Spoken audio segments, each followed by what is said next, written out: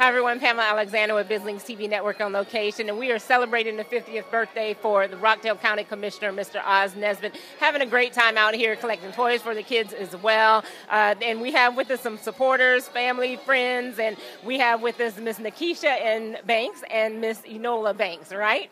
Yes. Good. Thank you, and welcome for coming tonight. Thank you for having us tonight. Absolutely, absolutely. So, words that you all would like to share for the commissioner for his 50th birthday? Well, I'd like to wish him a happy birthday and praying that he has many, many more. Fantastic. And I concur. we love it. So now, are you all here in local in Rockdale? yes. Okay. Okay, okay, great, great. So, and been supporting commissioner for since he's been in office. Oh, yeah, I believe so. Yeah. Okay, oh, fantastic, fantastic. Everyone, this is supporters that he has coming out here, and we want you to make sure that you meet them, that you meet the commissioner. When you see him, make sure that you wish him a happy 50th birthday as well. I'm Pamela Alexander with BizLynks TV Network on location, exposing your business to the world.